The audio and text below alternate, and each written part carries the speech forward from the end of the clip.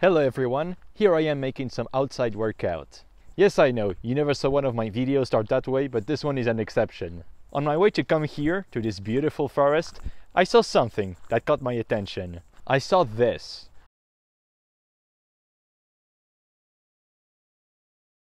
Let me explain a little bit. Here in Switzerland, we're going to have a votation, what we call an initiative, about a very interesting and important topic. Here in Switzerland, unlike in the majority of the countries of the world, the people who make money with dividends or rental income from real estate or money from businesses pay less in taxes. Capitalists and entrepreneurs pay less in taxes than the workers, people who live and earn money with a salary.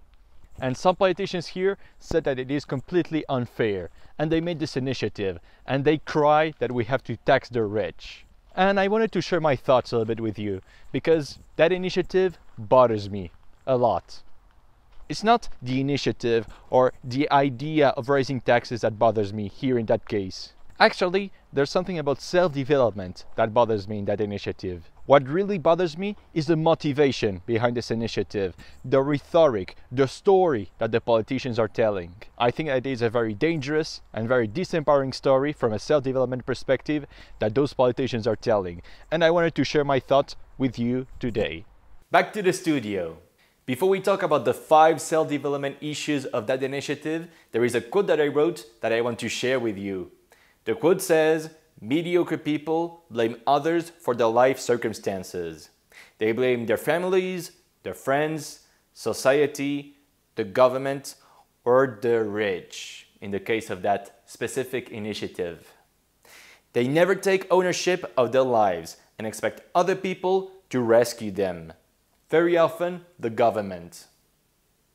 Superior people, on the other hand, take extreme ownership of their lives and blame themselves when they fail or can't achieve their goals. Superior people take responsibility because they know they have what it takes to succeed sooner or later. The harsh reality, whether you like it or not, is that you have to participate in your own rescue. Nobody is coming to rescue you. The sooner you know that, the better.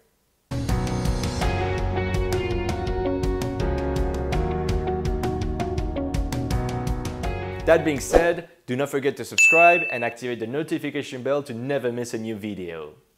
Number one, accept reality.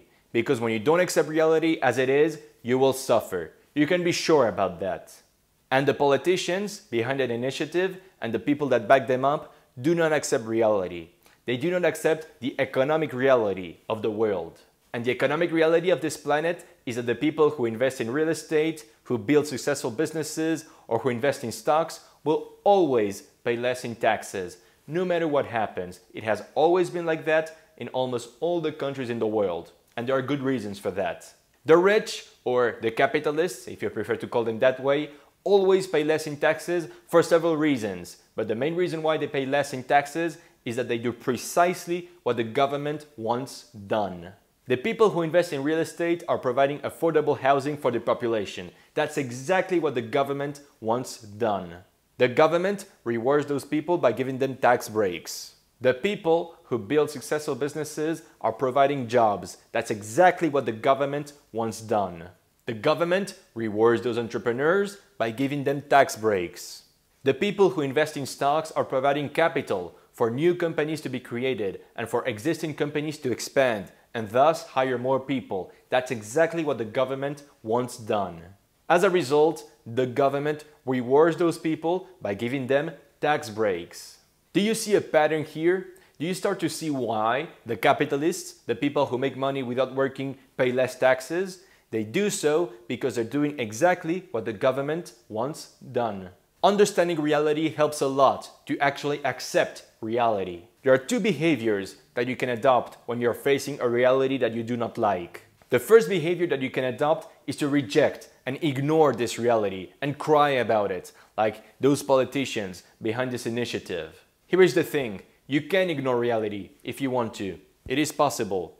But there is one thing that you can't ignore it is the consequences of ignoring reality. You can ignore the reality of capitalism. You can ignore the reality of our economic system but you can ignore the consequences of doing so. And the consequence is that you do not learn. The politicians and the people behind this initiative are not learning. They are not growing because they are rejecting and ignoring reality. This attitude will bring the unavoidable pain, suffering, anger, and resentment. And believe me, the people behind that initiative are very resentful people. And you don't want to have all those negative feelings, don't you? That's why I suggest to you another perspective. I suggest to you to adopt behavior number two when it comes to reality, and that is embracing that reality. Understand it, whether you like it or not. For instance, when you know that the rich or the capitalist or however you want to call them pay less in taxes, instead of getting angry like those politicians, why don't you accept reality and ask yourself, why is reality the way it is? How can I understand this reality? How do they do it to pay less taxes than I do? What can I learn about it? Is there something that I can implement? Can I imitate them somehow to improve my own life? Remember, the first step to growth is accepting reality. Number two, life is unfair. The sooner you know that, the better. That is another reality, another very harsh reality you will have to accept, whether you like it or not.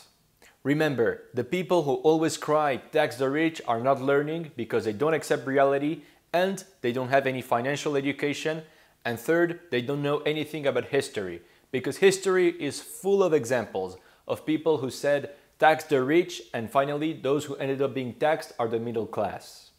Regarding that initiative, some people are born richer, some people are smarter with their money, some people had an unfair advantage because when they were kids they were taught the value of money and how to make money as a capitalist. And you yourself, you also have an unfair advantage because you're watching this video and you're subscribed to Oak Wealth Builder. But more seriously, life isn't fair. The capitalists, the people who make the most money without working, pay less taxes than the people that make the less money working. But life is unfair in every aspect, not only with money. It is unfair, for example, that you maybe have grandparents. I don't have any grandparents that is alive. It is unfair that I have two kidneys when there are some people out there who need absolutely a kidney transplant, otherwise they will die. It is unfair that some people are more healthy than others. It is unfair that some people are handsome and some people are ugly. It is unfair that some people go to better schools and have a better education. It is unfair that some people are more clever than others. I think you got the point. Unfairness is an unavoidable feature. You will have to deal with unfairness all the time. Those are one of the prices of being alive. But here is the real question. And no, it is not a general question. It is a real question to you. Yes, to you, the person watching this video. Are you going to sit down and cry that the world is unfair, like those politicians? Or are you going to decide to succeed no matter what, despite the unfairness? I am curious to know your answer. You can share it with me. You can pause the video right now and send an email with your answer at daniel at oakwealthbuilder.com. Number three, Take extreme ownership because you are not a victim. And write this down. Lame people blame other people for their problems. Just like those politicians, they hear and they tell you, oh my god, you're a poor victim. If you're struggling, it's not your fault because you're a poor little victim. It's because of those filthy rich. It's them. They're responsible for all of your problems. Vote for me and I'm going to rescue you.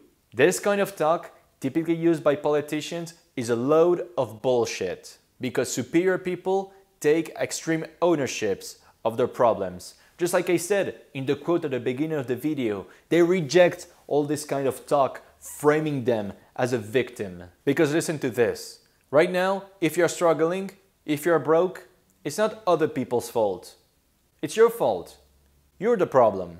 Your best thinking got you where you are right now. And I'm not saying this to make you feel bad. I'm actually giving you very good news because if you are the problem, if it's your fault, it means that you can fix it. Taking extreme ownership is one of the most empowering things you can do in your life because it puts you as the captain of your own boat, not a powerless and passive passenger. When you take extreme ownership, you have the power to improve your life and fix your life. You do not depend anymore on outside people such as politicians and the promises. If you're broke at the moment and you take extreme ownership, you say, okay, it's my fault if I am broke right now. I put myself into that situation. But that also means I can get myself out of the situation. I will take action right now because I do not depend on anybody. Of course, to be successful, you will have to work with other people. But at the end of the day, you have your life in your own hands. You do not depend on the goodwill or the charity of anybody else to succeed or to be well off in life. Again, if it's your fault, it's very good news. It means that you can do something about it. That's why you're much better off rejecting all the rhetoric from those politicians who want to frame you as a powerless person for political support. Framing people as victims are the tactics used by despots. And boy, we already had enough of them in history. When you don't take extreme ownership, when the bad circumstances in your life are not your fault, it means one thing. It means that you are doomed. What do you prefer, being a doomed victim or being the captain of your own boat? Number four, the abundance mentality. I already mentioned the abundance mentality and all the benefits it can have for you. Check out that video. And the opposite of it, the scarcity mentality, brings a lot of problems, a lot of negative feelings such as envy, anger, and resentment. And I'm going to be a little bit extreme right now, but I can say that most of the wars in history can be linked directly to scarcity mentality. In a perfect world where everybody has an abundance mentality, this kind of initiative, whose main motivator is envy, would never exist. It would not resonate with anybody, but unfortunately, we are living on planet Earth. Yes, here I am accepting reality because I have to practice what I preach, right? And this kind of initiative, fueled by jealousy and envy, are very popular. When you adopt the abundance mentality, you let go very easily of jealousy, envy, and this kind of rhetoric. When you adopt the abundance mentality, you realize that there's enough for everybody. There is a massive amount of wealth, much more than you can realize. And everybody can have a share of it if they put the effort. And here I'm talking about all kinds of wealth business wealth, financial wealth, wisdom wealth, spiritual wealth, love wealth, everything, there is enough for everybody. If somebody is rich, it does not mean that you're poorer as a consequence. Most of the time, it is exactly the opposite. Because that guy is rich, you're probably richer also. Take Bill Gates, for example. He's very rich, but he didn't make anybody poor.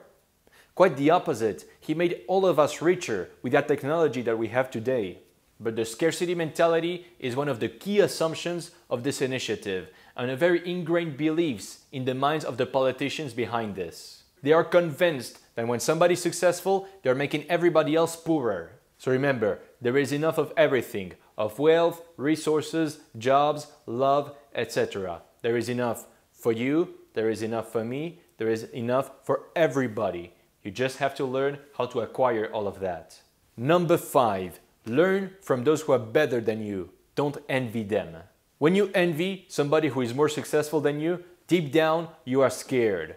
You have the fear that you will never be able to be as successful as they are, that you're never gonna make it. First, you have to convince yourself that you're able to get what you want.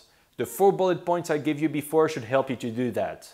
And then when you're convinced and you see somebody who is more successful than you, instead of saying, ah, I'm sure he's a crook, he's an asshole, I'm sure he's a very bad person.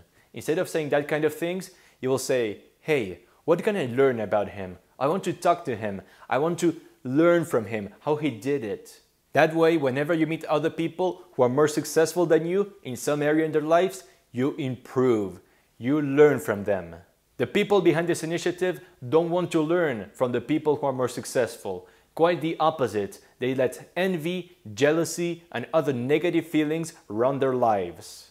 As a consequence, they want to punish those who are more successful. They want to take away what they have for themselves without working for it, without earning it. And they hide behind the mask of social justice to accomplish their disempowering and evil goals the bottom line of this initiative and all the other political events around us. Some politicians around the world, no, actually most politicians try to use your feelings against you. They try to use their feelings to advance their political agenda, to advance their political power. They will try to use the scarcity and the victim mentality on you. Don't let them. You don't need any politician to fix your life. The only thing you need is hard work and perseverance. Ask yourself every morning how you can make your life a little bit better before going back to bed in the evening. Learn from other people who are more successful than you. Learn from this channel. Learn from books, online courses, etc. That includes your personal life, your financial life, your professional life, every aspect of your life. And don't get me wrong, I am not saying that inequality is not a problem. It is a big problem. It is very dangerous when the gap between the have everything and the have nots is too big. But to close this video, I will say a sentence from Dr. Jordan Peterson. You can't fix the world, but you can fix yourself. By fixing yourself, you make the world a bit better. That's it for this video. I hope that you liked this video and learned something from it. If that is the case, a little thumbs up is always appreciated. Do not forget to subscribe to this channel to never miss a new video, and I will see you very soon.